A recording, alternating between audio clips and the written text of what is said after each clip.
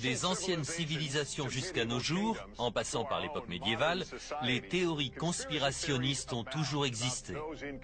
Théories selon lesquelles ceux qui nous gouvernent nous cachent d'importantes informations.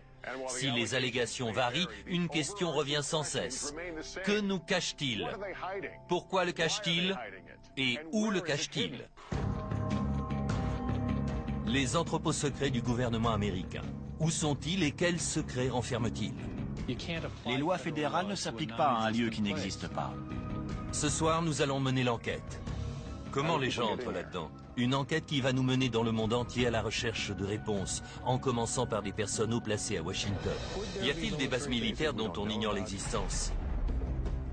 Jusqu'à une base militaire abandonnée à Montauk, guidée par l'enquêteur Richard Dolan. On commence déjà à voir les perturbations. Nous survolerons la légendaire zone 51 dans le Nevada en compagnie du chercheur Glenn Campbell.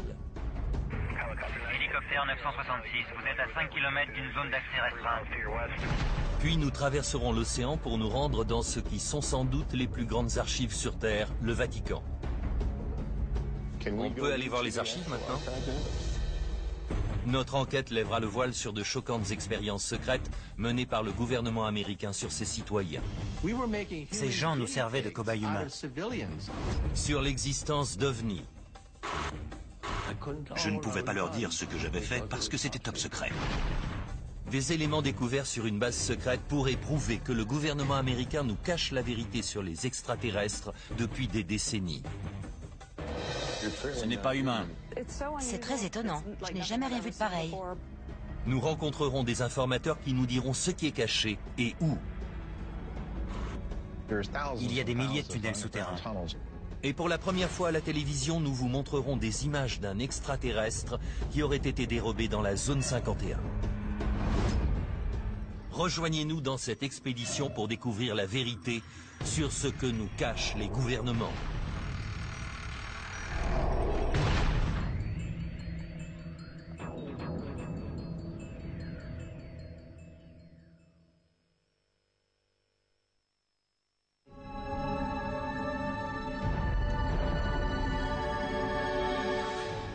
Les secrets du gouvernement. Voilà un concept couramment utilisé dans l'industrie cinématographique qui a toujours intrigué les populations. Cela peut paraître une idée saugrenue, mais nous savons qu'il existe dans le monde des lieux où les gouvernements cachent des informations. Des bases militaires, des archives gouvernementales, des bunkers souterrains. La plupart de ces endroits relèvent de la sécurité nationale, mais ces zones à l'accès limité ne cacheraient-elles pas d'autres secrets bien plus grands? Que font-ils à Fort Knox ou dans la zone 51 Pourquoi ne puis-je pas aller au Vatican voir ce qu'ils y font? Le simple fait de refuser l'accès de ces lieux aux gens comme vous et moi nous oblige à nous demander pourquoi ils le font et ce qui se passe dans ces lieux secrets ou durant ces réunions secrètes? Ces lieux dont nous ignorons parfois l'existence cachent-ils des informations que nous devrions connaître? C'est en tout cas l'avis de certains. Je pense qu'il existe un nombre important de lieux souterrains cachés à travers le monde. D'endroits comme l'entrepôt 13.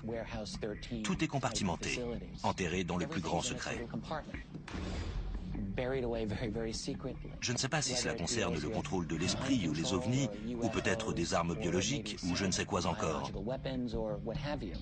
Mais le secret, c'est la règle, pas l'exception. Pour répondre à ces questions, nous débutons notre enquête à Washington, D.C. Afin de nous faire une idée sur l'ampleur du goût du gouvernement pour le secret, nous allons interroger John Podesta, ancien chef de cabinet du président Clinton, qui a longtemps plaidé pour une transparence totale du gouvernement. Le gouvernement est-il parfois allé trop loin en voulant à tout prix garder le secret sur certaines choses Bien sûr, le gouvernement va parfois trop loin à vouloir garder le secret sur tout. Ce genre d'habitude à la peau dure.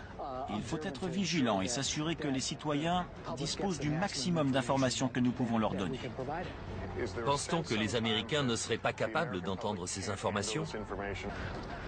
Ceux qui classent ces informations pensent que les gens ne sont pas en mesure de les recevoir ou n'ont pas besoin de les connaître. Ça peut être très dangereux à long terme. Je pense que le public est capable d'entendre ces vérités. Y a-t-il beaucoup de choses que nous ignorons? Certaines opérations délicates sont gardées secrètes. Leur succès en dépend. Cela dit, on se sert beaucoup de ce prétexte, alors qu'il ne s'agit pas toujours de questions de sécurité. Parfois, c'est aussi parce que, si les gens étaient au courant, ils ne voudraient pas que le gouvernement agisse de la sorte en son nom. Une des plus grosses sources de spéculation porte sur l'existence de dossiers classés secret défense sur les ovnis. Pourquoi les États-Unis ne sont-ils pas plus ouverts, plus honnêtes au sujet des ovnis, confirmant ou infirmant leur existence? C'est vrai, c'est une question que je me pose souvent. Y a-t-il vraiment là-bas quelque chose que les Américains ne doivent pas connaître? Avec le recul, peut-être que ce qu'ils faisaient là-bas à l'époque nous paraîtrait un peu idiot aujourd'hui. Mais les gens ont le droit de savoir. Alors que le gouvernement américain s'entête à cacher les documents sur les ovnis dans des entrepôts secrets, d'autres pays, eux, ont décidé de tout révéler. En 2008, le Royaume-Uni a décidé de déclassifier ses dossiers sur les ovnis. Et pour la première fois, des témoins, dont certains membres de l'armée américaine, ont pu raconter leur histoire. Je ne pouvais pas leur dire ce que j'avais fait parce que c'était top secret. Milton Torres était pilote de chasse dans l'armée américaine. En 1957, alors qu'il est stationné au Royaume-Uni, une étrange mission lui est confiée. Ils m'ont dit qu'il s'agissait d'une mission d'assaut. Puis ils ont dit, c'est un objet volant non identifié. On veut que tu l'abattes. Quand Milton Torres atteint les coordonnées transmises, une énorme forme apparaît sur son radar. Il faisait des manœuvres que je n'arrivais pas à suivre. Il s'arrêtait, puis repartait angle droit. Je suis arrivé, et à 20 secondes du tir, il a disparu. Il a décollé à une vitesse comme dix fois la vitesse du son. On n'a pas d'avion aussi rapide. J'ai eu peur pour ma vie. De retour à la base, Milton Torres reçut l'ordre de ne jamais révéler ce qu'il avait vu dans le ciel ce jour-là. Ils m'ont dit, cette mission a été classée secret défense. Vous ne devez en parler à personne. Ni à votre femme, ni à votre chef, à personne.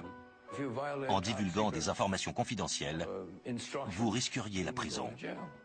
Milton Torres ne sait toujours pas ce qu'il a vu ce jour-là sur l'écran de son radar, mais il a des soupçons. Je ne crois pas que nous soyons seuls. Et celui qui a construit cette machine en savait bien plus que moi. Le gouvernement américain détiendrait-il dans ses dossiers secrets d'autres histoires comme celle de Milton Torres? Même au sein de la classe politique, certains pensent que oui. L'ancien gouverneur de l'Arizona, Five Symington, qui a assisté au phénomène inexpliqué appelé les Lumières de Phénix, pense qu'il s'agissait d'extraterrestres que le gouvernement a voulu cacher. En 1997, j'ai vu un très grand vaisseau en forme de triangle naviguer silencieusement au nord de Phoenix. Nous voulons que le gouvernement arrête de nous faire croire que chaque phénomène a une explication rationnelle. Nous avons droit à une plus grande transparence et je pense que le gouvernement se doit d'enquêter sur ce genre de faits. Le député de l'Ohio, Denis Kucinich, affirme lui aussi qu'il a vu un ovni. Monsieur Kucinich, avez-vous vu un ovni? Oui, c'était un objet volant non identifié. J'ai vu quelque chose. Le gouvernement aurait-il des informations sur des technologies extraterrestres qu'il nous cacherait? Je suis convaincu que notre gouvernement détient des preuves physiques, des informations concernant l'existence d'OVNI. Beaucoup pensent que si le gouvernement est bel et bien en possession de telles informations, c'est ici qu'elles sont cachées, sous terre, dans cette base aérienne retirée du Nevada, plus communément appelée la Zone 51. La base est aussi bien gardée que mystérieuse. Elle n'était même pas reconnue par le gouvernement avant 1994. Et encore aujourd'hui, il est difficile de savoir qui supervise cette base. Nous avons envoyé une demande d'accès par écrit, mais les semaines ont passé et nous n'avions toujours pas de réponse. Nous avons donc décidé de téléphoner. Nous avons fait une demande officielle pour filmer les locaux gouvernementaux de Groom Lake, c'est-à-dire la zone 51. Ça me semble important de pouvoir avoir accès à une telle base et savoir pour quel type de programme l'argent du contribuable est utilisé. Merci beaucoup. Au revoir. Il m'a dit qu'il voulait bien étudier notre demande. En attendant notre réponse, nous concentrons nos recherches sur un autre lieu empreint de tradition, le Camp Hero, dans le parc de Montauk, près de New York. L'enquêteur et écrivain Richard Dolan s'y rend pour effectuer des recherches sur des expériences secrètes menées par le gouvernement dans des locaux souterrains qui portaient sur le contrôle de l'esprit, le voyage dans le temps et la téléportation. J'essaie de trouver des éléments qui prouveraient qu'il y a eu ici d'importantes activités souterraines. Si l'on en trouve, cela nous servirait de tremplin pour continuer notre enquête. De 1942 à 1982, Camp Hero était une base militaire dans laquelle on surveillait les avions ou les sous-marins ennemis. Mais d'après Stewart Swerdlow, cette base a eu aussi une fonction plus obscure. Il prétend en effet que de 1970 à 1983, il a servi de cobaye dans le cadre d'un programme gouvernemental qu'il appelle le projet Montauk. Ça a d'abord commencé comme un projet portant sur le contrôle mental, la programmation et la manipulation génétique, et l'armement ésotérique. Une partie du projet Montauk incluait le voyage dans le temps, ou la création de passages dimensionnels d'un point à un autre. Stuart Swerdlow affirme que lui et des milliers d'autres personnes ont été enlevées dans la rue ou chez eux, puis conduites dans un bâtiment souterrain à Camp Hero. En surface, la base de Montauk avait l'air abandonnée. Mais en dessous, il y avait neuf niveaux souterrains. C'est là que les expériences avaient lieu. Il y avait des centres où les gens étaient séquestrés. Cela peut sembler exagéré, mais le fait que le gouvernement américain puisse mener des expériences secrètes sur ses citoyens ne l'est pas. Il a déjà par le passé caché à ses citoyens l'existence de tels programmes et dissimulé ou détruit les preuves. Comme l'étude médicale effectuée pendant 40 ans sur des Afro-Américains pauvres à Tuskegee en Alabama. L'étude consistait à ne pas les soigner contre la syphilis pour voir comment ils réagiraient. Et il ne s'agit là que de l'un des nombreux programmes secrets découverts avec le temps. Au plus fort de la guerre froide, on le sait aujourd'hui, l'armée américaine utilisait le peuple américain comme cobaye. Par exemple, en les exposant à des radiations dans des zones peuplées pour voir à quelle vitesse les radiations se diffuseraient.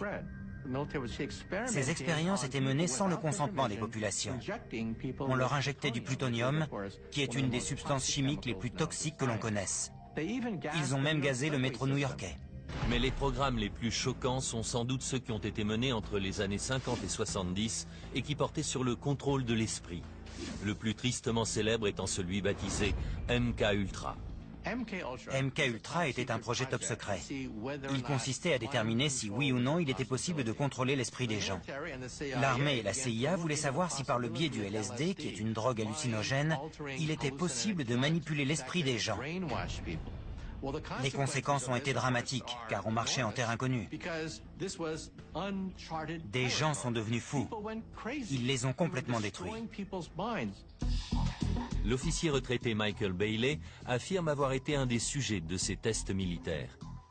Ils ont dit que ces tests étaient sans danger, qu'il ne fallait pas qu'on s'inquiète. Au milieu des années 70, l'officier Bailey a été affecté à l'arsenal d'Edgewood, dans le Maryland, après s'être porté volontaire pour ce qu'il croyait être un programme visant à tester les uniformes et l'équipement.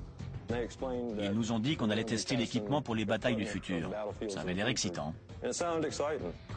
Mais Michael Bailey affirme qu'au lieu de ça, lui et des centaines d'autres soldats se sont fait injecter du LSD et d'autres drogues très nocives ou ont été exposés à de dangereux gaz pour voir leur réaction. Nous nous sommes procuré cette vidéo d'entraînement tournée par l'armée et autrefois classée confidentielle. Elle montre certains des effets de cette expérience menée sur leurs propres hommes à Edgewood. Six heures et demie après l'exposition, le volontaire visiblement confus a eu besoin d'aide alors qu'il essayait de traverser un parcours d'obstacles. Les perturbations mentales et les hallucinations sont flagrantes. Aujourd'hui, l'officier Bailey estime que le gouvernement l'a trahi. On faisait confiance au gouvernement et à l'armée, mais ce n'était qu'un ramassis de mensonges. Beaucoup de gens ont souffert à Edgewood. Plus d'une centaine d'expériences de la sorte ont été menées dans des bases militaires, des hôpitaux, et même dans des universités réputées comme Princeton ou Harvard. Le but de ces expériences était de créer le parfait soldat, ce qui en d'autres termes pourrait être décrit comme la parfaite machine à tuer. Mais ces programmes ont eu des conséquences désastreuses. Il y a eu un nombre important de suicides et de suicides ratés. Un homme à qui on avait injecté du LSD a essayé de se donner la mort dans son jardin devant ses enfants. Il était, comme on dit vulgairement, en pleine hallucination. La vérité sur le projet MK n'a été révélée qu'au milieu des années 70. Le chef de la CIA de l'époque avait ordonné qu'on détruise tous les documents confidentiels sur le sujet. Mais une dizaine de cartons contenant les rapports financiers ont été oubliés et une petite partie de ce sombre secret fut découverte. Ce qu'il ne faut pas oublier au sujet de MK Ultra, c'est que nous n'avons que très peu d'infos sur les détails du programme, parce que la plupart de ces dossiers ont été détruits. Nous ne connaissons pas le nombre exact de personnes qui ont participé malgré eux à ce projet. Certains avancent même que des victimes de MK Ultra pourraient avoir changé le cours de l'histoire. L'assassin de Robert F. Kennedy, Siran Siran, a longtemps été soupçonné d'avoir été l'une des victimes de ces expériences de contrôle de l'esprit. Il est intéressant de noter qu'un des étudiants qui a participé à ces expériences menées à Harvard est le Unabomber. Si de telles expériences ont eu lieu sans qu'on en ait eu connaissance, serait-il alors possible que le projet Montauk soit lui aussi un programme gouvernemental resté jusqu'ici secret? Nous avons appris l'existence de MK Ultra par accident. Si tous les dossiers avaient été détruits, MK Ultra ne serait aujourd'hui encore qu'une rumeur. Quand je pense à ça par rapport au projet Montauk, je me dis que si Montauk n'est aujourd'hui qu'une rumeur, c'est peut-être parce que les types chargés de la sécurité ont fait un meilleur boulot que pour MK Ultra.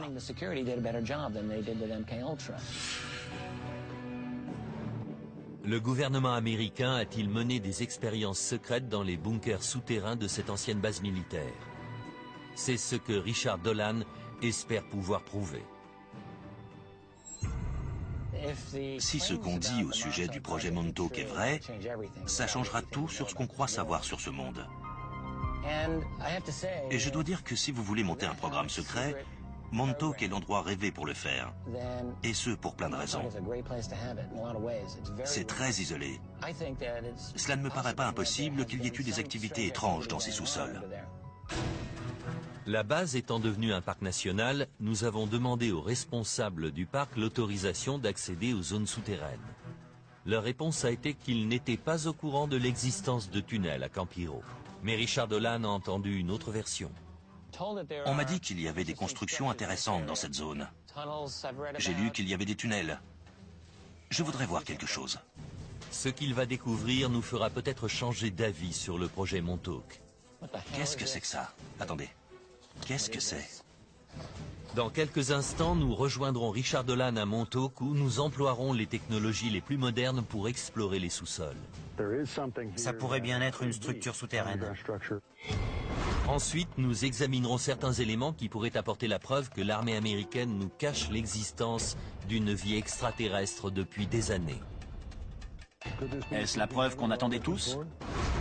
Mais d'abord, c'est à Rome que nous nous rendons pour tenter de franchir les portes du Vatican afin de visiter l'un des lieux les plus mystérieux du monde, les archives secrètes du Vatican.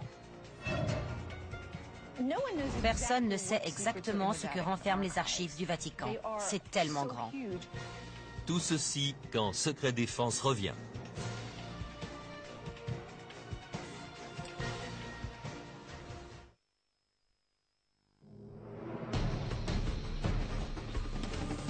Notre enquête sur les secrets des gouvernements nous emmène à Rome. Une ville qui abrite le plus petit État souverain du monde, mais aussi un des plus influents, le Vatican. C'est le siège de l'Église catholique et de son milliard de fidèles. Bien que son pouvoir ne s'étende que sur 44 hectares, son influence, elle, est mondiale. Le Vatican est un lieu fascinant parce que c'est la plus vieille organisation encore existante aujourd'hui sur Terre. On peut remonter jusqu'à 2000 ans en arrière. De nombreux documents attestent de l'influence du Vatican à travers les époques. Et son rôle, notamment dans le domaine des arts, est fièrement exposé. C'est un des plus grands, si ce n'est le plus grand dépositaire de l'art, de l'histoire, de la tradition, de la théologie et des documents écrits. C'est un vrai trésor. Derrière moi se trouvent les murs sacrés du Vatican et à l'intérieur ses archives secrètes. 80 km d'étagères contenant des milliers de documents. Il s'agit sans doute des archives les plus riches de l'histoire du monde. Et pourtant, elles sont interdites à la plupart d'entre nous. Pendant des années, des universitaires et des citoyens se sont demandé ce qu'elles recelaient. Le Vatican cacherait-il d'importants secrets? Personne ne sait exactement ce qu'il y a dans les archives du Vatican. C'est tellement grand. Et les universitaires n'ont qu'un accès partiel à ces archives. On n'en connaîtra jamais l'intégralité. Le secret qui règne autour de ces archives a éveillé l'intérêt des universitaires, des écrivains et même d'Hollywood. Le roman et le film Da Vinci Code avancent une hypothèse selon laquelle l'Église nous cacherait la vérité sur la lignée de Jésus-Christ. Dans le film Angers Démon, un ancien document conservé au Vatican va permettre de contrecarrer les plans d'une société secrète appelée les Illuminati qui voulait se venger du Vatican. Par ici, s'il vous plaît.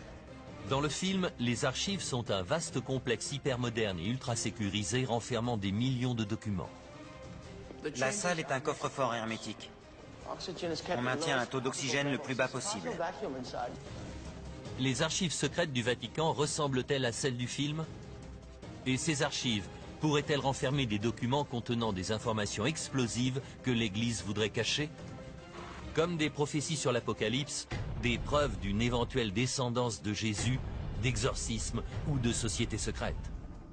Des révélations qui seraient susceptibles de changer notre vision de l'Église, mais aussi et surtout celle de l'histoire. D'après de récentes découvertes, tout porte à le croire. L'archiviste du Vatican, Barbara Frale, a découvert un document qui apporte un jour nouveau sur le rôle du pape dans l'exécution des chevaliers légendaires de l'ordre du Temple. Beaucoup de gens pensent que c'est le pape Clément V qui a demandé une enquête sur les Templiers et qui les a désavoués, causant ainsi leur perte. Vous avez trouvé un document. Que nous apprend-il sur cette histoire? En 2001, nous avons retrouvé dans les archives secrètes du Vatican un parchemin original du pape Clément V, dans lequel il demande une audience à huis clos pour les maîtres de l'ordre du Temple, et durant laquelle il va les absoudre car il était convaincu qu'ils n'étaient pas hérétiques. Nous savons aujourd'hui que l'Église n'a jamais condamné l'ordre du Temple, et que c'est un acte de violence abusif du roi Philippe le Bel qui est à l'origine de la chute de l'ordre. Mal archivé il y a des centaines d'années, ce document n'avait jamais été découvert. Mais se peut-il alors qu'il existe des documents dans ces archives concernant des événements importants de l'histoire qui n'aient pas encore été trouvés? Il y a encore des millions de documents à découvrir dans les archives secrètes du Vatican. Quel genre de documents le Vatican peut-il alors nous cacher, intentionnellement ou non? À en croire les rumeurs les plus fréquentes, le Vatican nous cacherait des informations importantes concernant les prophéties sur la fin du monde, comme le fameux troisième secret de Fatima. Il s'agit d'une des prophéties les plus connues de la religion catholique. La prophétie veut qu'en 1917, la Vierge Marie soit apparue plusieurs fois devant trois enfants de la ville de Fatima au Portugal site aujourd'hui visité chaque année par des milliers de fidèles. Pendant ces visites, la Vierge Marie leur aurait fait trois révélations sur l'avenir du monde, mais le Vatican n'en révéla que deux. Le premier secret est une vision de l'enfer. Le deuxième secret était en rapport avec la fin de la Première Guerre mondiale et le début d'une autre grande guerre peu de temps après, si la Russie ne se convertissait pas au catholicisme. Mais le troisième secret n'a pas été révélé. Et beaucoup, comme le spécialiste de Fatima, Christopher Ferrara, se sont demandé ce qu'il pouvait bien être. En 1960, pour des raisons inconnues, le Vatican a fait savoir que le secret allait être placé sous scellé pour l'éternité. Mais le 26 juin 2000, devant la pression grandissante, le Vatican a finalement cédé et dévoilé la vision. L'annonce de cette révélation a été reprise par la presse du monde entier. Pendant des années, les gens ont spéculé sur ce troisième secret, pensant qu'il s'agissait d'une prophétie sur la fin du monde. Aujourd'hui, devant un demi-million de fidèles, le Vatican a révélé ce secret. La vision montrait un évêque vêtu de blanc, abattu de plusieurs balles.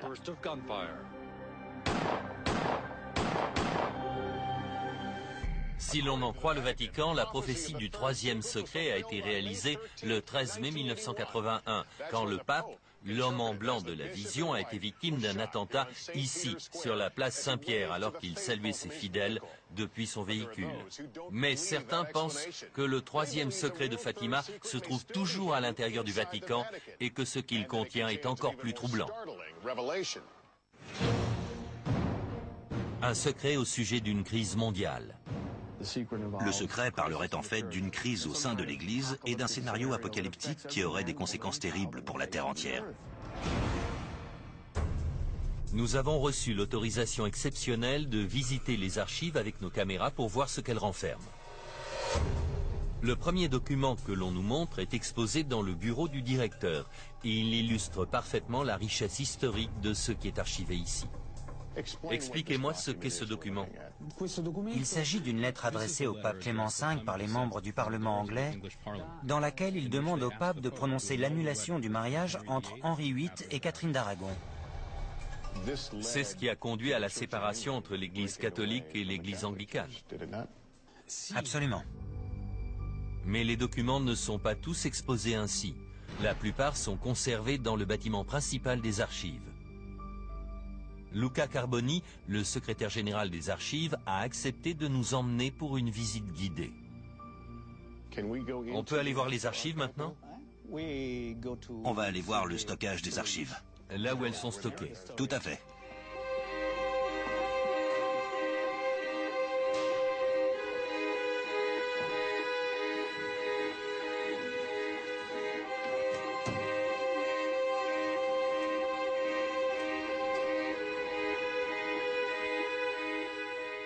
En arrivant dans le bâtiment principal, on est immédiatement saisi par le nombre impressionnant de documents qui s'y trouvent.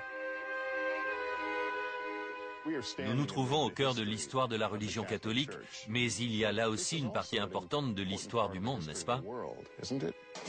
Les archives du Vatican sont très précieuses, car nous disposons d'une chronologie continue depuis plus de 800 ans,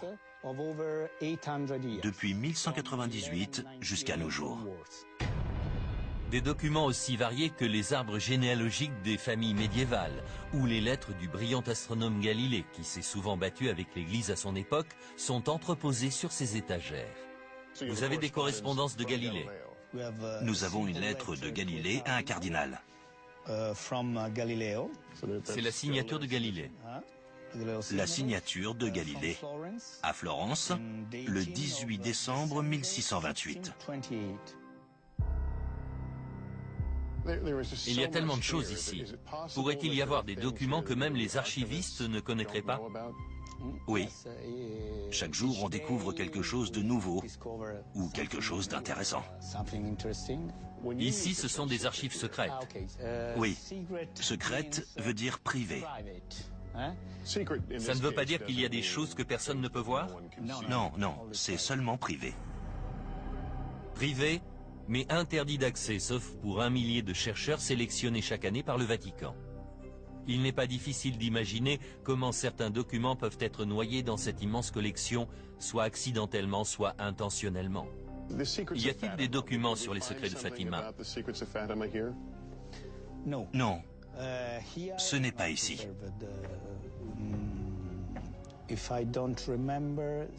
Si je me souviens bien, ce n'est pas ici. Où sont gardés ces documents?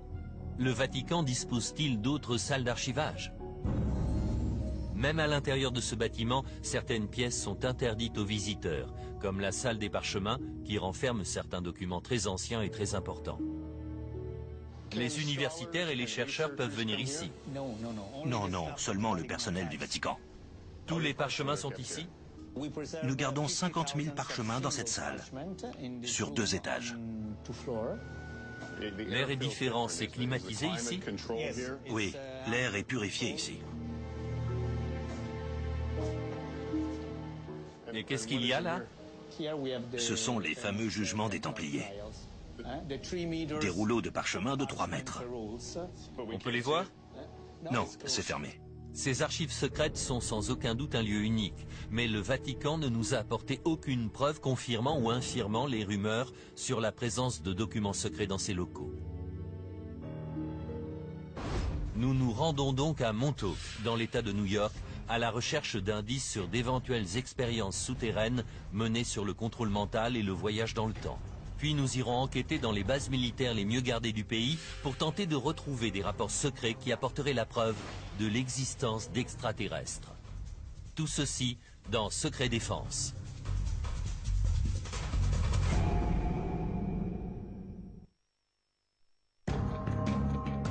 Notre enquête pour tenter de découvrir les secrets que nous cachent les gouvernements continue et nous conduit maintenant dans le parc de Camp Hero, à Montauk, dans l'État de New York. Nous allons enquêter sur des témoignages concernant ce qu'on appelle le projet Montauk.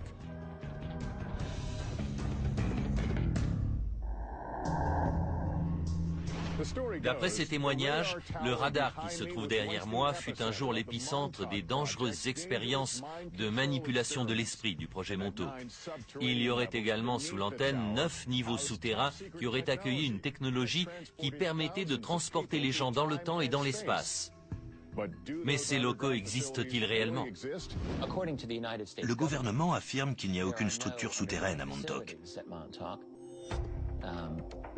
Bien sûr, il faut garder en tête que les États-Unis ont forcément quelque part des bureaux souterrains qu'ils souhaitent garder secrets. L'écrivain et enquêteur Richard Dolan a accepté de nous accompagner à Camp Hero pour vérifier ces allégations. Comment savoir s'il y a vraiment quelque chose? S'il est impossible de vérifier l'exactitude des témoignages, on peut quand même jeter un œil au sous-sol, avec un radar à pénétration de sol. Cela nous permettra de savoir enfin s'il y a quelque chose ou pas là-dessous. Au moins confirmer certaines parties de l'histoire. Stuart Swerdlow affirme que lui et des milliers d'autres hommes ont été enfermés ici pour être programmés ou manipulés mentalement.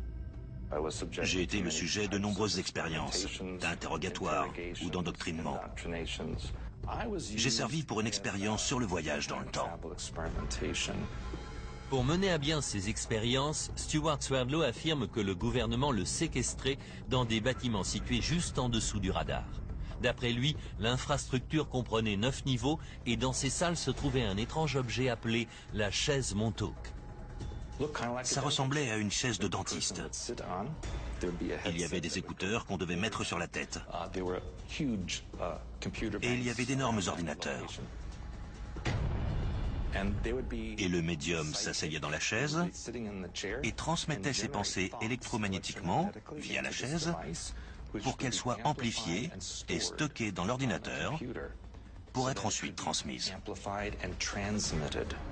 Mais le contrôle mental n'était pas le seul concept étudié à Montauk. Selon Stuart Swerdlow, il faisait aussi des études sur le voyage dans le temps et la téléportation, à l'aide d'une technologie bien étrange.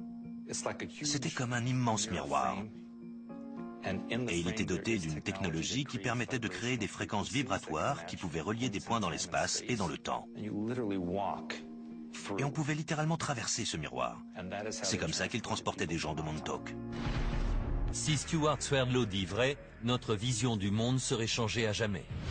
Jusqu'à présent, le voyage dans le temps et la téléportation sont des concepts qui n'ont été explorés que dans le cinéma, dans des films comme l'expérience Philadelphia ou Retour vers le futur par exemple. Mais est-il possible que ce genre d'expérience comme la téléportation et le voyage dans le temps ait lieu à Camp Hero?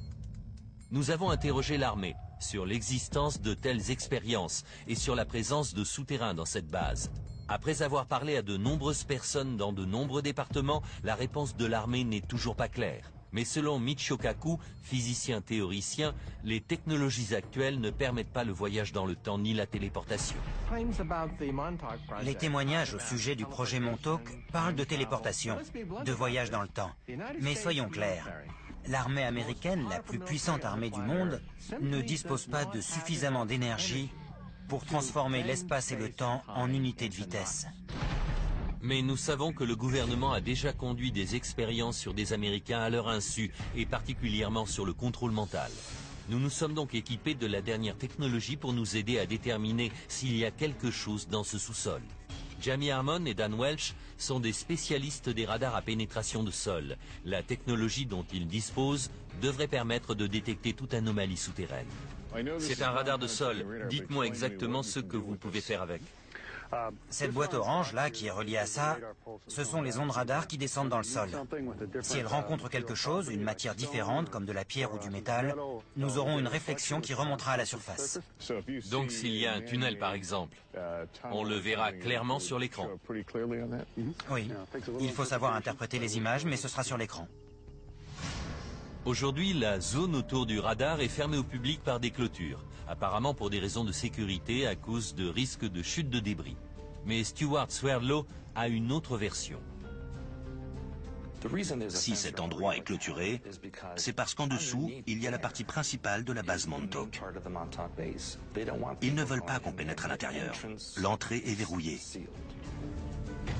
Mais le parc nous a donné l'autorisation exceptionnelle d'entrer dans la zone entourant le radar, en nous recommandant de ne pas approcher trop près de l'antenne. Le signal est relativement fort. Nous n'avons pas beaucoup de temps. Aussi, nous décidons de nous séparer en deux équipes. Richard Dolan va examiner la zone au compteur Gégère pour détecter d'éventuelles traces de radioactivité autour du radar. Il indique juste en dessous de 10. C'est très bas. Ne trouvant rien d'anormal, il part explorer la zone dans l'espoir de trouver d'éventuelles entrées à la base souterraine. De son côté, l'équipe radar sonde la zone autour de l'antenne. Et dès le début, les signaux que nous recevons sont surprenants. On commence déjà à voir les perturbations. Ça correspond aux anomalies qu'on s'attendait à trouver.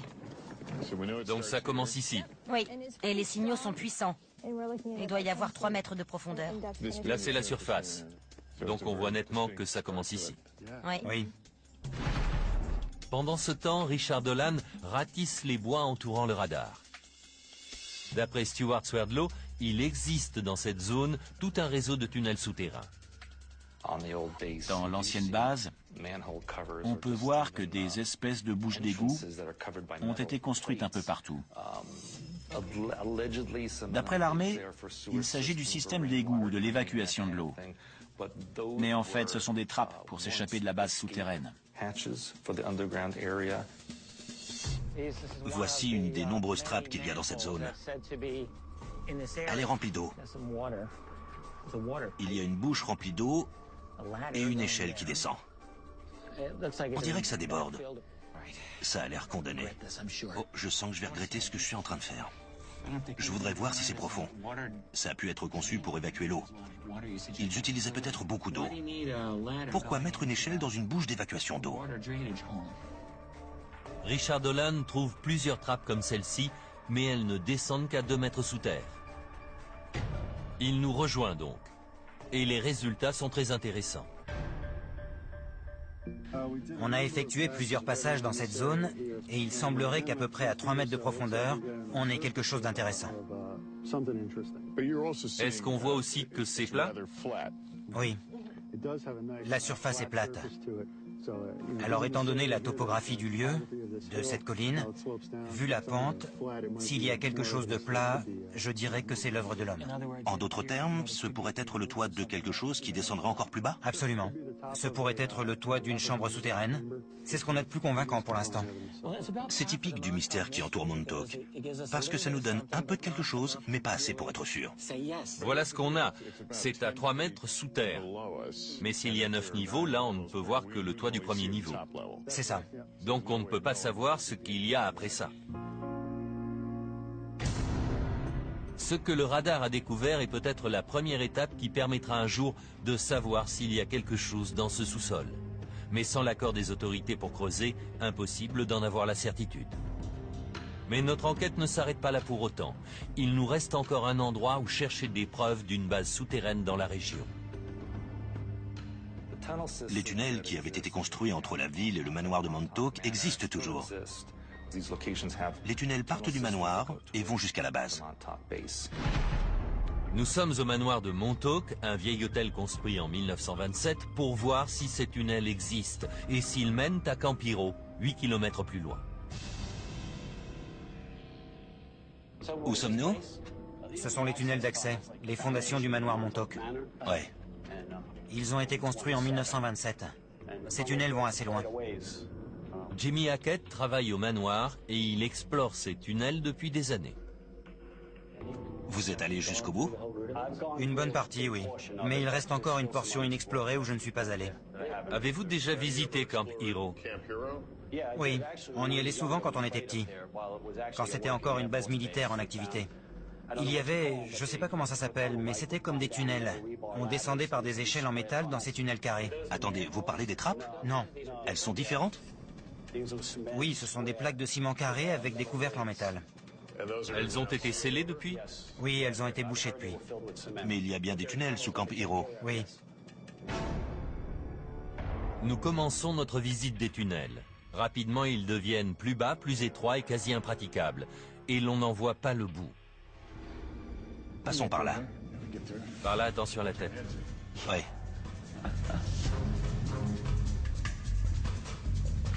C'est sans fin. Ouais, c'est vrai. À droite. Oh non Ça ne s'arrête jamais. Venez voir ça. Nous arrivons à un point où il devient impossible de passer à deux. Il est parti voir jusqu'où va le tunnel. Je n'arrive pas à croire qu'il soit si long. On n'arrive pas à comprendre pourquoi on a construit un tunnel aussi long et étroit sous ce bâtiment. Richard Je reviens. Je n'ai pas réussi à trouver la fin du tunnel. J'arrive. Il est très très long. Et il y a un bout qui finit en cul-de-sac. Mais il y a des embranchements qui vont dans plusieurs directions. On peut facilement se perdre là-dedans.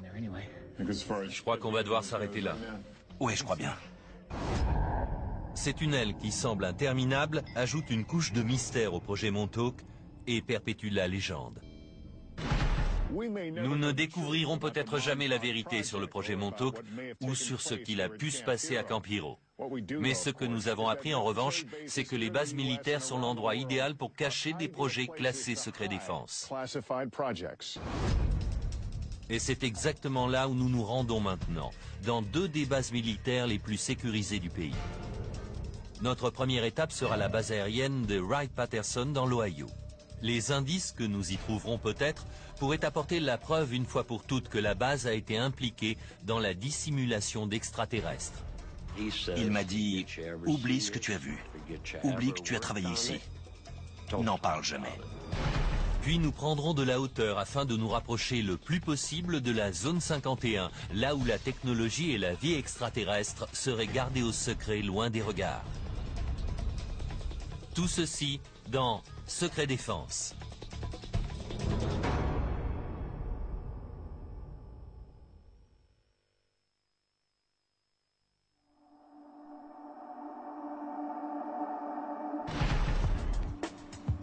Notre enquête pour tenter de découvrir les secrets que les gouvernements nous cachent nous emmène à travers le monde. Nous sommes allés à Montauk dans l'état de New York pour tenter d'en savoir plus sur des expériences de voyage dans le temps et de manipulation de l'esprit. Nous avons traversé l'océan Atlantique pour chercher dans les archives secrètes du Vatican les réponses aux mystères les plus anciens.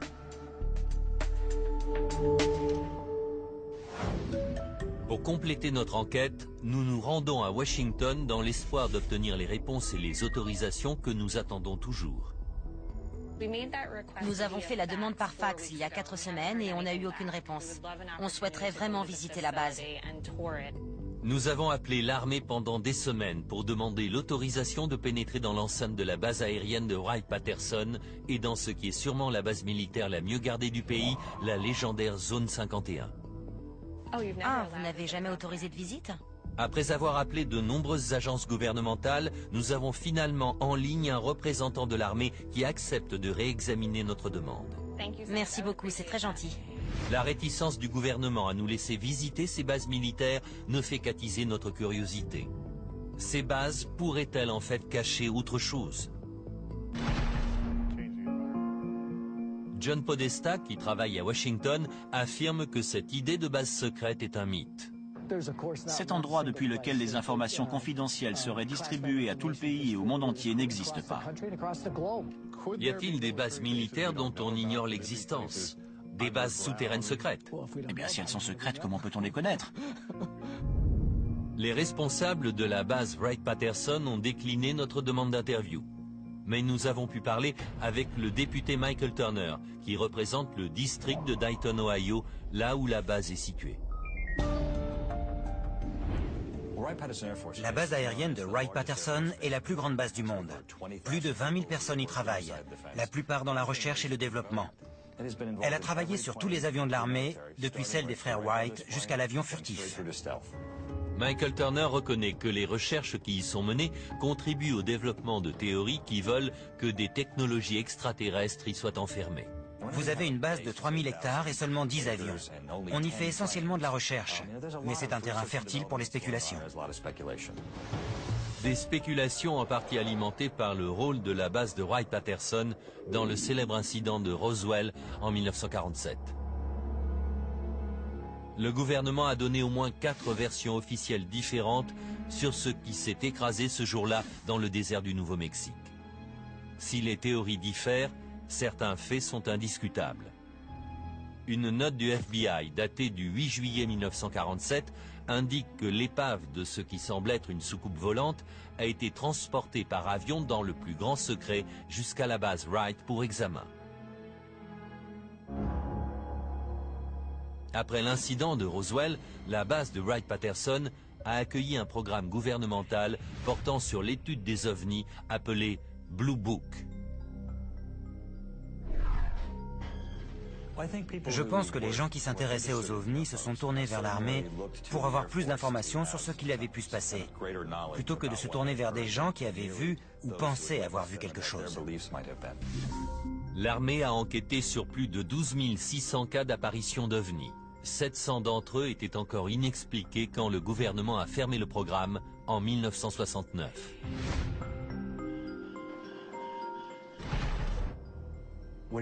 Quand on entend la position actuelle des autorités sur les ovnis, on dirait qu'ils ont fait leur valise et qu'ils sont rentrés chez eux. Je pense sincèrement que l'armée a loupé le coche sur ce coup. Qu'y a-t-il de mal à dépenser une partie de l'argent du contribuable pour enquêter sur ces événements? On trouverait peut-être quelque chose d'intéressant. Où est le mal à ça? Chaque galaxie contient à peu près un milliard d'étoiles. C'est à devenir fou. Et penser qu'on est les seuls, c'est complètement stupide. Les vrais cas compliqués allaient directement en haut lieu. Ils ne restaient pas à Blue Book. Mais où ils allaient, on ne le saura jamais. Le capitaine Robert Collins, aujourd'hui à la retraite, a passé 22 ans dans l'armée, dont 6 à Wright-Patterson. J'avais un accès aux informations classées top secrètes. Si Robert Collins, qui a pris sa retraite avec les honneurs en 1988, témoigne aujourd'hui, c'est parce qu'il veut que l'armée cesse de couvrir les recherches secrètes sur les ovnis qui ont d'après lui été menées sur la base pendant des décennies. Ça comprend tous les programmes secrets de l'armée, y compris tous ceux concernant la technologie extraterrestre, qui sont super secrets. De nombreux témoins soutiennent l'action de Robert Collins et affirment avoir eu accès à des preuves extraterrestres sur la base. D'après un rapport, les responsables auraient révélé l'existence du vaisseau de Roswell à un groupe d'élite qui aurait été envoyé en mission sur place. C'était des colonels, des généraux. Ils avaient été formés au lobbying, à l'espionnage, Il connaissait parfaitement nos technologies et il pouvait les manipuler, les retourner pour couvrir des missions à l'étranger. Parmi eux se trouvait le lieutenant-colonel Marion Magruder. Il a dit qu'il devait décider de rendre public ou non quelque chose qui s'était passé récemment. Pilote de chasse pendant la Seconde Guerre mondiale, Marion Magruder, appelé Black Mac, connaissait bien les opérations militaires. Mais cette mission était très spéciale, tellement secrète qu'il n'en parlait à sa famille que 50 ans plus tard, sur son lit de mort. Il a dit je vais t'avouer une chose. Nous ne sommes pas seuls. Marion Magruder raconte alors son incroyable rencontre avec un extraterrestre. Il éprouvait de la sympathie pour lui. Il a dit qu'il avait plus l'air d'un humain que d'un extraterrestre. Mais il avait une plus grosse tête, des plus grands yeux et des longs bras fins et des petites jambes. Et d'après mon père, il avait l'air très triste. Marion Magruder garda cette rencontre secrète jusqu'à ses derniers jours. Mon père disait, on l'a tué à cause des expériences et tout ça. Ça l'a beaucoup affecté. Ses souvenirs n'étaient peut-être pas la seule chose qui le hantait. Des gens venaient souvent lui rendre visite pour parler de ça. Et même si je ne saurais jamais qui étaient ces gens, je sais qu'ils voulaient s'assurer que le secret était bien gardé. L'armée nous a renvoyé à son communiqué de 1985 qui répondait aux rumeurs insistantes sur des ovnis. Il y est écrit que il n'y a pas et il n'y a jamais eu de visiteurs ou d'équipements extraterrestres sur la base de Wright-Patterson. Mais au fil des ans, les questions et les suspicions demeurent, alimentées par les témoignages d'anciens militaires, dont celui de Robert Collins, qui affirme que des bâtiments souterrains ont été construits de manière stratégique sous la base. Vous ne les trouverez jamais, sauf si vous savez où chercher. Dans un instant, nous examinerons des témoignages au sujet d'un labyrinthe complexe construit sous la base de Wright-Patterson. Puis nous étudierons des preuves physiques qui pourraient confirmer que le gouvernement nous cache des informations sur la vie extraterrestre. Je suis trop vieux pour me soucier de ma réputation. Puis nous nous rendrons dans le désert du Nevada pour une enquête exclusive dans la zone 51. Si les gens savaient ce qui s'est passé dans la zone 51, ils voudraient brûler l'endroit. Tout ceci dans la suite de Secret Défense.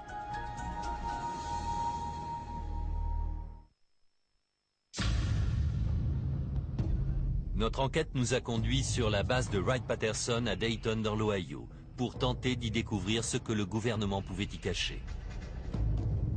Cette base est-elle l'épicentre d'un complot gouvernemental qui vise à dissimuler les preuves de l'existence d'extraterrestres? C'est en tout cas l'avis de nombreux chercheurs. Ils ont des preuves, des preuves physiques même. À ce jour, tout indique que cela se trouve à Wright-Patterson.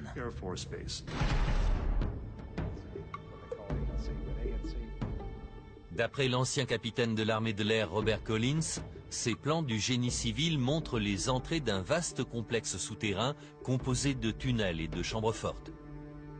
En croisant les données qu'il a accumulées en 25 ans de recherche avec les informations qui lui ont été transmises par une source anonyme, Robert Collins décrit ce qui d'après lui se trouve sous terre.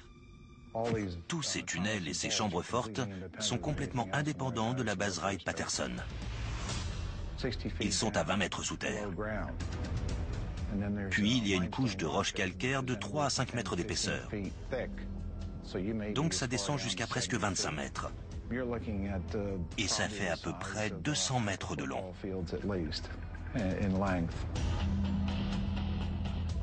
Il y a en gros quatre chambres fortes, de 30 mètres carrés chacune.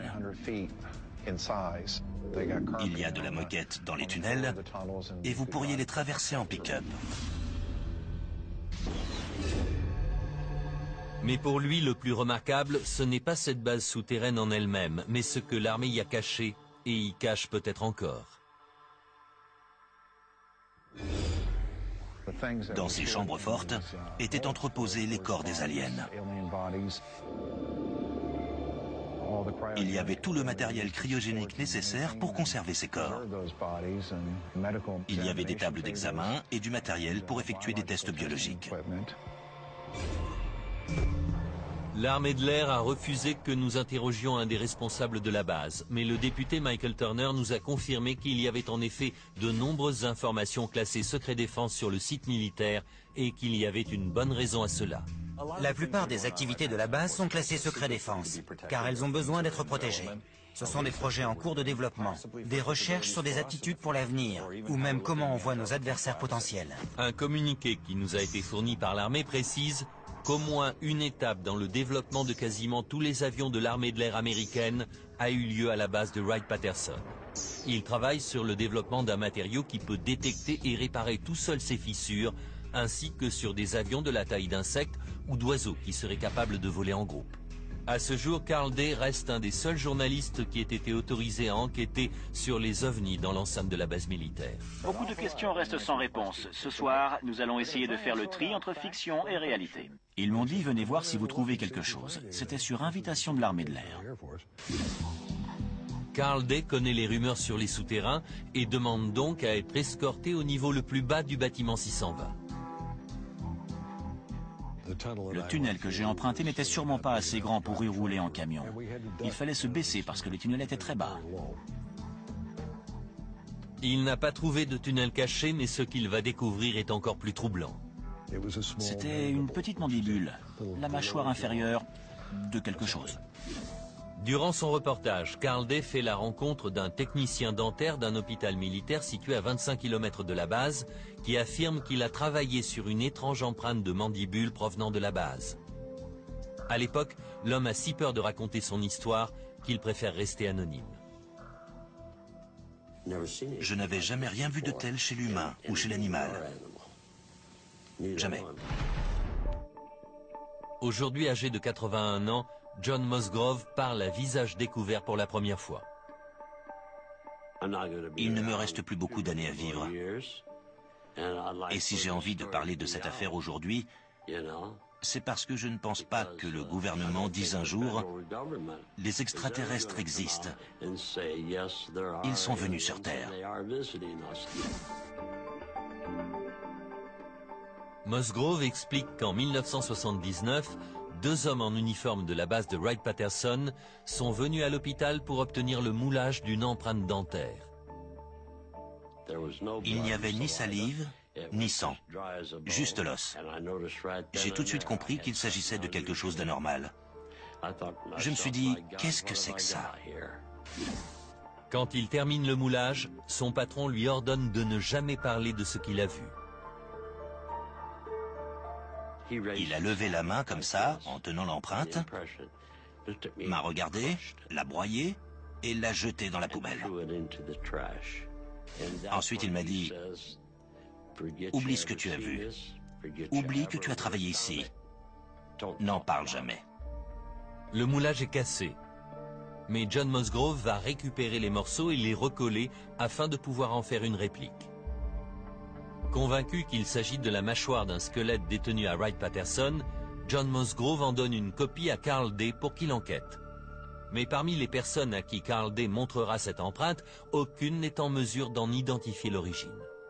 Je ne voulais pas qu'il arrive quoi que ce soit à cette empreinte, on ne sait jamais. Alors je l'ai mise dans un coffre-fort. Et c'est moi qui ai la clé. Carl Day accepte de retirer la mandibule de son coffre-fort. C'est celui-là. C'est la première fois qu'elle est montrée à la télévision. J'aimerais vraiment savoir s'il s'agit bien d'une mâchoire d'extraterrestre. La tête devait vraiment être très petite. 30 ans après le moulage de l'empreinte, le mystère reste intact. Serait-ce la preuve irréfutable qu'on attendait tous? La preuve qu'il y a bien des extraterrestres sur Terre? Ça prouve une chose. Il y a autre chose en plus des humains et des animaux. Dans un instant, nous essaierons de savoir si cette mandibule détient le secret de la vie extraterrestre. Une anthropologiste dentaire nous donnera son avis. Mais d'abord, nous irons dans le désert du Nevada. On se demande ce qu'il peut y avoir de si secret pour qu'il tue. Enfin, nous examinerons une vidéo exclusive qui pourrait révéler ce qui se passe derrière les grilles de la base militaire la plus sécurisée des États-Unis. Dans un instant, Secret Défense.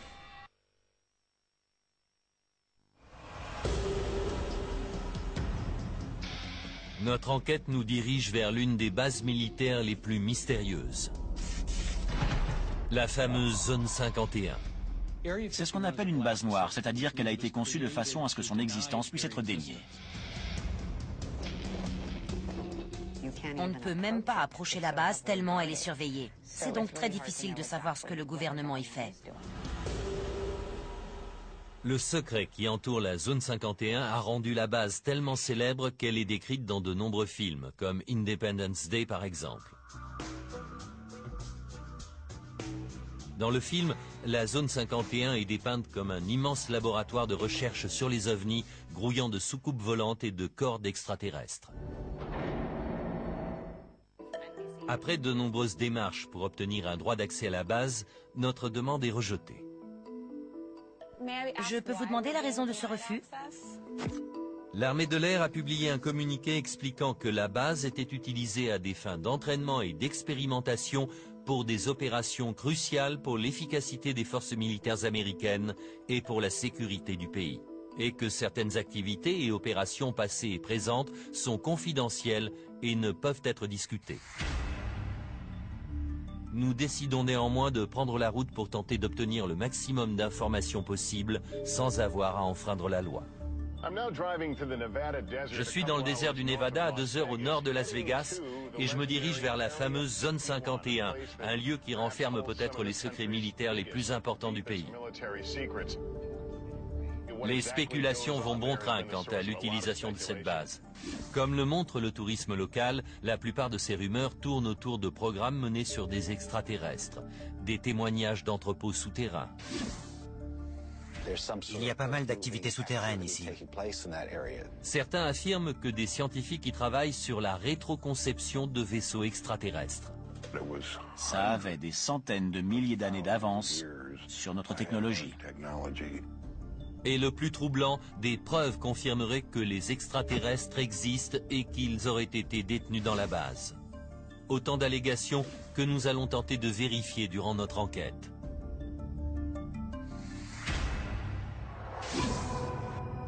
Depuis sa construction en 1955, la zone 51 a toujours été entourée de mystères. Conçue comme un site d'entraînement pour les avions espions U-2, son rôle consistait à abriter les projets militaires secrets.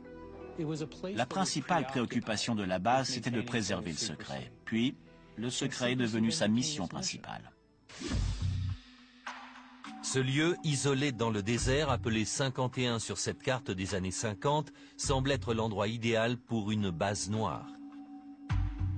Mais au fur et à mesure que l'infrastructure et l'activité grandissent, des informations ont commencé à filtrer. L'avion espion U-2, le SR-71, les avions furtifs.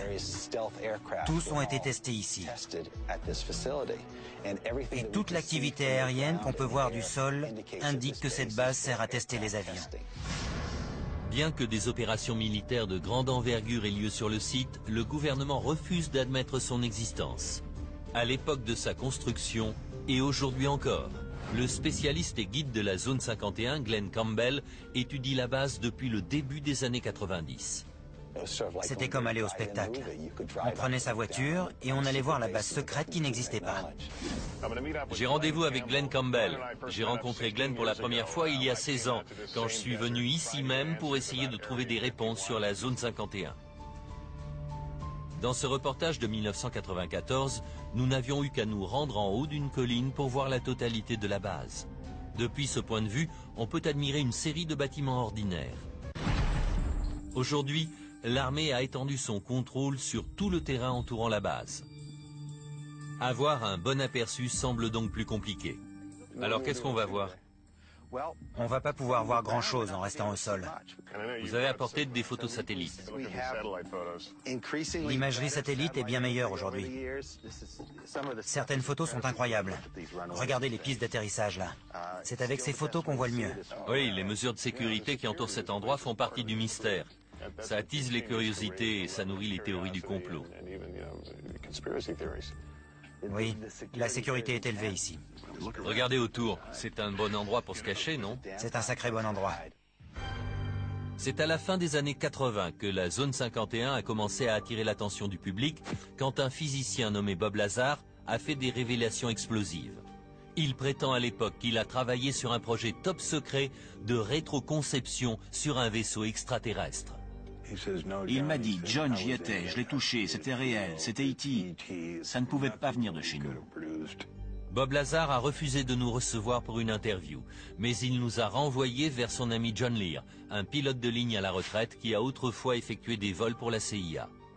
C'est moi qui ai révélé l'existence de la zone 51. John Lear a poussé Bob Lazar à faire une interview télévisée pour lever le voile sur ses activités secrètes. Il m'a dit, ok, tant que je reste dans l'ombre. L'interview a eu lieu chez John Lear et il l'a filmé sur cette vidéo. C'est Bob et sa femme. Dans son interview, Bob Lazar affirme avoir travaillé sur les soucoupes volantes dans un complexe secret appelé S4, si secret qu'il est camouflé dans une montagne au sud de la zone 51. John Lear nous explique ce que Bob Lazar lui a décrit. S4 est une base souterraine. Ça ressemble à une montagne, mais en fait, il y a des portes de hangar qui coulissent vers le haut pour s'ouvrir. On dirait qu'une partie de la montagne est en train de s'ouvrir. Ça mène à un laboratoire, et il y avait toute une série de hangars.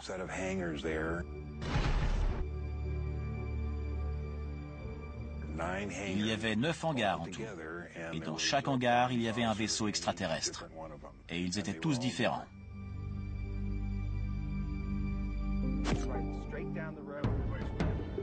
Si tout cela est vrai, se pourrait-il que le gouvernement utilise la zone 51 comme une zone de stockage pour la technologie extraterrestre? Quel que soit le type de secret enfermé dans la zone 51, il est clair que les visiteurs n'y sont pas les bienvenus. On ne peut pas aller plus loin que ça. La première chose que je remarque, c'est qu'il n'y a pas de clôture, juste ces deux panneaux. À première vue, le système de sécurité ne paraît pas impressionnant. Mais les différents niveaux de sécurité apparaissent rapidement. Je vois qu'il y a des trépieds sur la colline. Ils nous observent Ce sont des caméras. Ils nous regardent. Ils surveillent la route, là. Impossible de passer en douce. Et si on passe au travers, il y a nos amis là-haut, En effet, dans le 4x4. ils sont là 24 heures sur 24. Des capteurs sensoriels au sol, des caméras et un service de sécurité privé en permanence. Mais la meilleure protection de la zone 51 reste certainement le désert. En arrivant ici, je m'attendais à voir des barbelés de 5 mètres de hauteur. Il n'y a rien de tout ça, juste quelques piquets. Ces piquets sont les seuls témoins que la loi du Nevada vous oblige à avoir pour délimiter un territoire. Ils n'ont pas besoin de clôture ici. Ils ont 20 km de désert autour d'eux pour protéger la base. Le panneau est classique, danger propriété privée. Jusqu'à ce qu'on arrive en bas, l'usage de la force à des fins mortelles est autorisé. On se demande ce qu'il peut y avoir de si secret pour qu'ils tuent.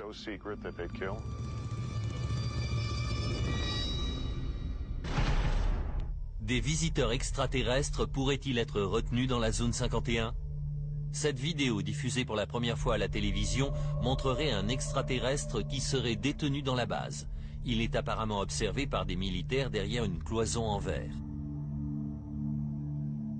L'homme qui a divulgué cette vidéo se fait appeler Victor. Il refuse de révéler sa vraie identité par peur de représailles. Selon lui, cette vidéo a été dérobée à un moment où du matériel provenant de la base était converti de l'analogique au numérique. Dans cette interview de 1996, sa voix a été modifiée. À peu près deux fois par mois, il l'installait pour des sessions qui duraient de 3 à 5 heures. L'extraterrestre serait arrivé sur Terre en 1989 et aurait subi de nombreux interrogatoires. Dans cette session, l'extraterrestre serait angoissé. Le médecin recherche une éventuelle hémorragie dans les yeux et les narines. Victor pense que l'extraterrestre est mort au milieu des années 90. Nous ne disposons d'aucun moyen pour vérifier l'authenticité de cette vidéo, mais nous la soumettons à un expert en effets spéciaux à Los Angeles pour évaluer sa plausibilité. En attendant, nous sillonnons la montagne à la recherche du moindre signe indiquant la présence d'une structure dans la zone. Il faut bien rester près des piquets oranges. Je les vois même plus. Regardez. Mais on sait qu'ils sont sur notre droite. La nuit tombe sur le désert et les piquets oranges sont nos seuls guides. Un seul pas de l'autre côté de la frontière invisible et l'on pourrait se faire arrêter. Je vois un bâtiment. Oui. Là-bas, qu'est-ce que c'est? C'est le poste de contrôle. C'est l'entrée. Si vous vous aventurez sur cette route, dépassez les panneaux et arrivez à ce poste de contrôle, vous vous ferez immédiatement arrêter. Nous continuons notre ascension jusqu'au sommet. On ne peut pas aller plus loin. Je pense que c'est la fin de notre aventure ici, parce que je vois des militaires là-bas, camouflés comme vous dites. Oui, il est camouflé. On doit s'arrêter là La frontière change après. La seule solution, c'est de survoler la zone de jour. Et là, on aura peut-être un aperçu de la zone 51. Mais il faut de la lumière. Et il faut un hélico. Oui. Dans un instant, nous allons survoler le désert du Nevada et approcher au plus près de la plus célèbre base militaire des États-Unis. Ils savent maintenant où on est Affirmatif. La zone 51 est-elle le cœur d'une vaste opération de dissimulation d'extraterrestres? Renferme-t-elle des secrets terrestres bien plus dérangeants encore? Découvrir ce qui s'est passé, ce que les humains ont fait, c'est déjà assez terrifiant. Dans un instant, Secret Défense.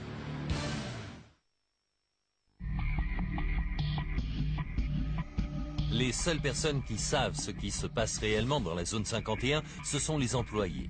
Et leur identité jusqu'au personnel d'entretien est tenue secrète.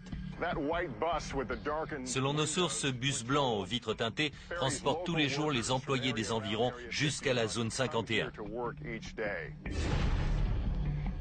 Ceux qui ne viennent bus font le trajet aller-retour dans un avion banalisé spécialement affrété pour eux. Ils viennent tous les matins de Las Vegas dans des avions privés appelés Janet sur les fréquences radio. Cette vidéo de surveillance montre des employés qui rentrent de la zone 51 dans ce 737 privé. Ces avions n'ont pas de nom de compagnie. Ils ont juste une bande rouge sur le côté. Travailler à la base signifie accepter d'adopter un style de vie secret. On ne peut même pas dire qu'on travaille là. Jonathan Turley est un avocat spécialisé dans les procès impliquant la sécurité du territoire.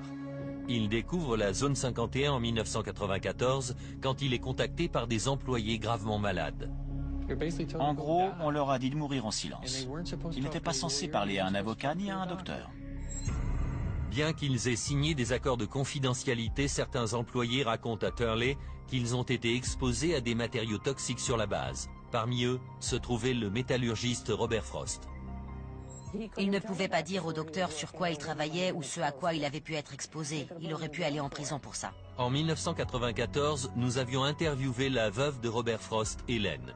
Elle nous avait parlé du premier jour où son mari était revenu avec d'étranges symptômes. Il est entré en hurlant. Je l'ai regardé, son visage était rouge vif et toute sa peau pelait complètement. Jonathan Turley intente un procès contre l'armée l'accusant de négligence caractérisée dans la destruction de déchets dangereux ayant entraîné un empoisonnement. Ils ont creusé une tranchée de la taille d'un stade de football. Chaque semaine, ils la remplissaient avec toutes sortes de déchets toxiques. Et puis, ils y versaient du kérosène et faisaient brûler tout ça. Si la base opérait en secret, l'impact sur certains employés était difficile à cacher. Beaucoup d'entre eux ont développé une maladie étrange. On aurait dit qu'ils avaient des écailles de poisson sur le corps. Cette photo a été prise juste avant qu'il démissionne, en mars 1989. Ensuite, il a eu des grosses plaques sur le dos et sur tout le corps. Les clients de Jonathan Turley voulaient savoir ce à quoi ils avaient été exposés. Mais poursuivre le gouvernement pour obtenir la vérité était kafkaïen. À l'époque, le gouvernement niait jusqu'à l'existence de la base. À un moment, j'ai dit au juge, je peux vous y emmener, je peux vous montrer où c'est. Vous la verriez. Sans parler du côté légal, comment dire que ça n'existe pas? D'après Jonathan Turley, ce n'est qu'après avoir apporté des photos satellites de la base que le gouvernement a finalement reconnu l'existence de quelques opérations dans la zone. Ils pensaient qu'ils vivaient dans une zone spéciale qui n'était pas régie par les lois fédérales et que le fait même de tuer quelqu'un, c'était quelque chose dont ils ne seraient pas tenus responsables. Turley a intenté plusieurs procès au nom des employés contaminés. La bataille juridique dura neuf ans Certains de ses clients moururent entre-temps. Les procès permirent d'obliger le gouvernement à conduire des enquêtes environnementales sur la base, comme requis par la loi. Au final, la Cour jugea qu'un des procès était discutable. Un autre obtint une fin de non-recevoir pour raison de sécurité du territoire. Les clients de Jonathan Turley n'ont obtenu aucune réponse et la divulgation des enquêtes légales ordonnées par la Cour a finalement été annulée par dérogation présidentielle ce qui signifie que ces enquêtes peuvent rester secrètes, et elles le sont toujours aujourd'hui. C'est un terrible manquement. Et cela ne concerne pas que les responsables de la base. Ça remonte jusqu'au président. Ces gens étaient américains. Et il a fallu les protéger de leur propre gouvernement. Pour Turley, ces histoires d'extraterrestres ont fourni à l'armée un écran de fumée idéal. Tout le monde cherche une présence galactique, du coup, personne ne regarde sur Terre s'il se passe des choses graves, des crimes. C'est pour ça que le gouvernement n'a jamais vraiment essayé d'enterrer ces histoires d'extraterrestres. Il préfère étouffer les affaires de crime. Ainsi, l'intérêt du public pour la zone 51 et ses légendes extraterrestres perdure. Les touristes viennent de partout pour jeter un coup d'œil à cette frontière. Il y a tous ces panneaux et toutes ces caméras sur la colline. Et les hommes dans les 4x4, on se dit, pourquoi vous ne voulez pas qu'on sache ce qu'il y a derrière? Qu'est-ce que vous cachez si bien? D'importantes restrictions du territoire dans les années 1980 et 90 ont fermé l'accès aux principaux postes d'observation entourant la base. Nous avons donc imaginé un autre plan. Nous n'avons rien pu voir, mais nous avons une autre option. Nous avons loué un hélicoptère, nous allons donc essayer de survoler la zone interdite et voir ce que nous pourrons voir. Glenn Campbell va lui aussi porter toute son attention sur le ciel. Il s'apprête à enregistrer l'activité aérienne de la zone interdite au-dessus de la base grâce à ses puissantes caméras de surveillance. Il y aura trois caméras. Ça fait 72 heures d'enregistrement. Ces trois caméras vont filmer en continu et enregistrer toute activité inhabituelle qui pourrait avoir lieu au-dessus de nos têtes de jour comme de nuit. L'idée, c'est de prendre cette montagne-là et ce petit pic de l'autre côté. Ouais, c'est mieux. En attendant les résultats, nous nous préparons nous aussi pour une petite surveillance aérienne. Bonjour. Tom Oui. Après plusieurs refus, nous trouvons finalement un pilote qui accepte de nous emmener près de la zone 51. Ces zones sont interdites au public, mais ils ne nous disent pas pourquoi. Légalement, on a le droit d'aller jusqu'où? Il est recommandé de ne pas s'approcher à plus de 3 km de la limite. On va leur dire ce qu'on fait? Non, on va rien leur dire. S'ils demandent, on leur dira juste qu'on fait du tourisme. Allons-y. C'est parti. Scope 4373 et un passager. 4373 et un passager pour le 966 Sierra Hotel. Maintenant, ils savent qui on est et où on va. Affirmatif. Durant le décollage, nous entendons une communication entre la tour de contrôle et un des avions banalisés du gouvernement. Janet pour la tour de contrôle 267 Nellis. Le contact est maintenu sur un 5000. L'avion auquel il s'adresse est appelé Janet. Des navettes aériennes. Nous dépassons la plus haute montagne et découvrons la zone 51. Je la vois maintenant. Nous sommes à peu près à 15 km de la frontière. Mais à peine l'apercevons-nous qu'un message radio nous rappelle à l'ordre. Hélicoptère 966, vous êtes à 5 km d'une zone d'accès restreint. Affirmatif. Affirmatif, mais nous n'irons pas plus loin que 3 km. Bien sûr. De toute évidence, dans les airs comme au sol, nous sommes sous étroite surveillance. Nous ne pourrons pas aller plus près que ça. Ce lieu est tellement surveillé qu'en fait, nous ne pouvons même pas pointer nos caméras vers la zone. Nous sommes à un peu plus de 2500 mètres d'altitude. C'est une belle journée. C'est la meilleure vue de la zone 51 que l'on peut avoir de l'extérieur. Je vais vous dire ce que je vois. Il y a deux grands bâtiments avec des toits en aluminium. Ils sont très brillants. Je ne peux que supposer qu'il s'agit de hangars de quelque sorte. Il y a plusieurs bâtiments plus bas. Tous ont l'air d'être le long d'un lac asséché. Je vois aussi ce qui semble être une très longue piste d'atterrissage. Notre enquête a révélé le maximum de preuves sur la base que le cadre légal nous permet, depuis le sol et dans les airs. J'imagine qu'ils sont plus à l'aise maintenant qu'on est parti. Plutôt deux fois qu'une. Une chose est sûre, le gouvernement a bien l'intention de garder le plus grand secret sur ce qui se cache à l'intérieur de cette base militaire.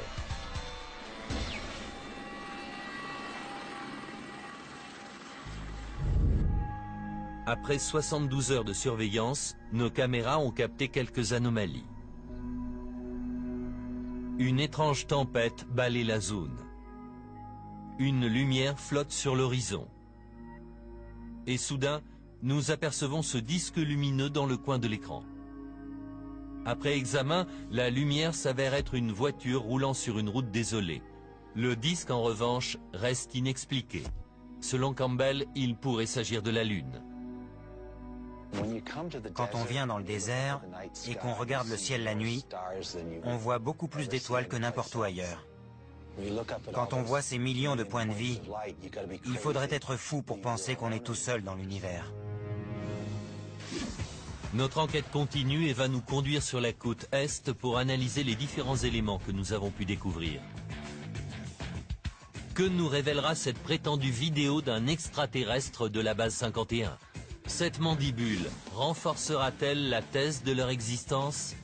Je n'ai jamais rien vu de pareil. Les réponses dans quelques instants dans Secret Défense.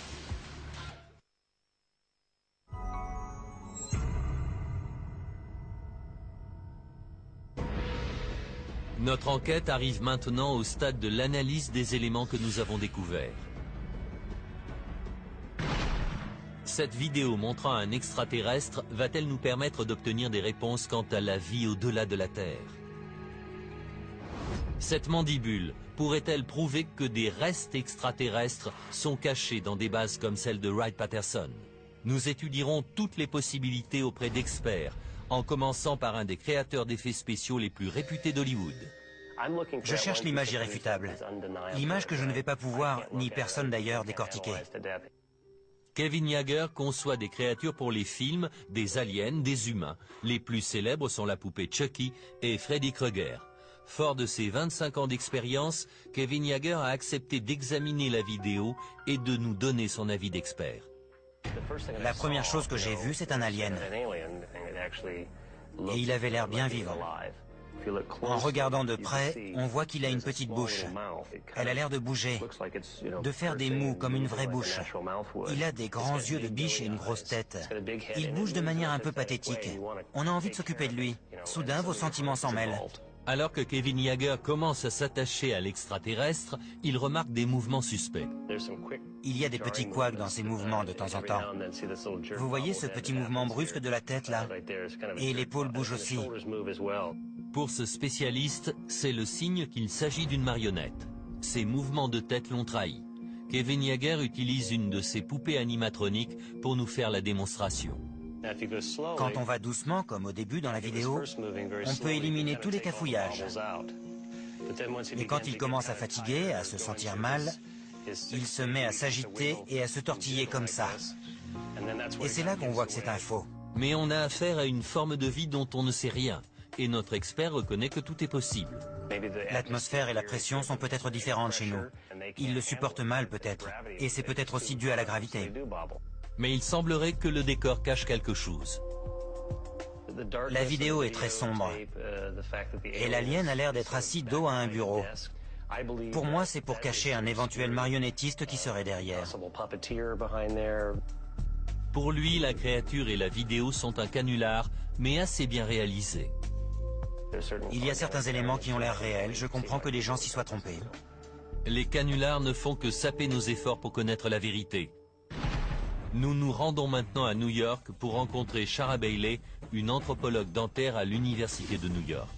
Elle a étudié la mandibule que nous avons récupérée pendant notre enquête sur la base de Wright-Patterson. Ce qui m'a tout d'abord surpris, c'est la forme de cette mâchoire, parce qu'elle est très étroite sur le devant et puis elle s'écarte un peu là et s'élargit fortement au fond.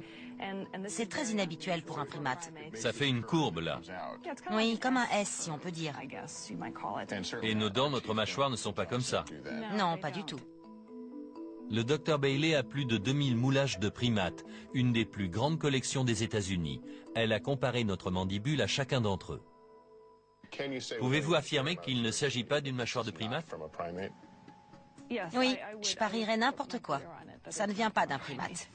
Le Dr Bailey n'a pu relier la mandibule à aucune espèce connue, mais son examen de l'empreinte va nous fournir quelques renseignements. Le moulage a été réalisé sur un squelette. C'est la mâchoire d'un être vivant. Parce qu'on voit les gencives là? Oui, on peut voir les gencives ici. La créature a perdu ses dents après sa mort.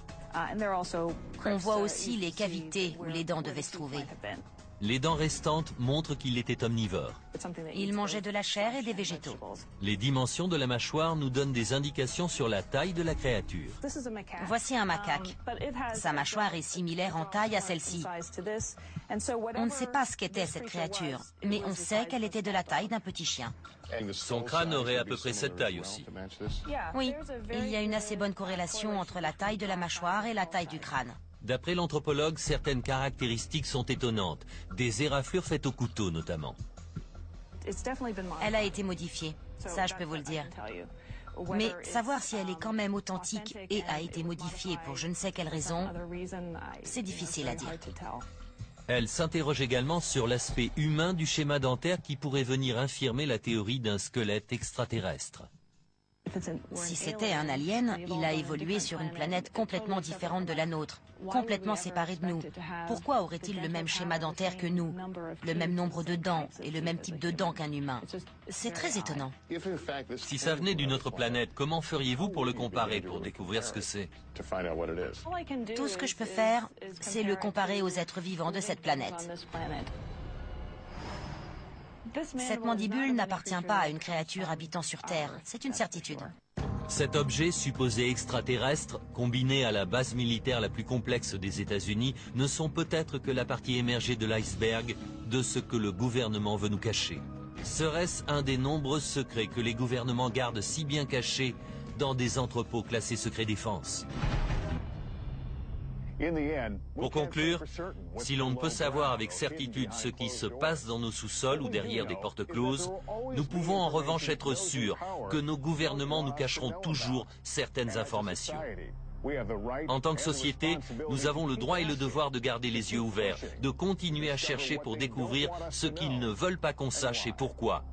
C'était Lester Holt. Merci à tous.